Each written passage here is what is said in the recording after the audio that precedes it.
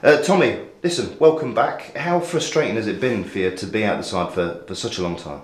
Yeah, it's been difficult. You know, I explained the other day, it's just watching, you know, the lads go through and you just want to um, play, even when they're winning, you still want to be on the pitch and be involved in it. So it's been difficult, but, you know, it's behind now. I've got to look to the future and, um, you know, give my all for as long as I can. Yeah, listen, you, you got your first call up back uh, on Saturday. Uh, I know it was a defeat, but as I was just saying to the gaffer then, it was a, quite a one-sided game possession-wise, wasn't it?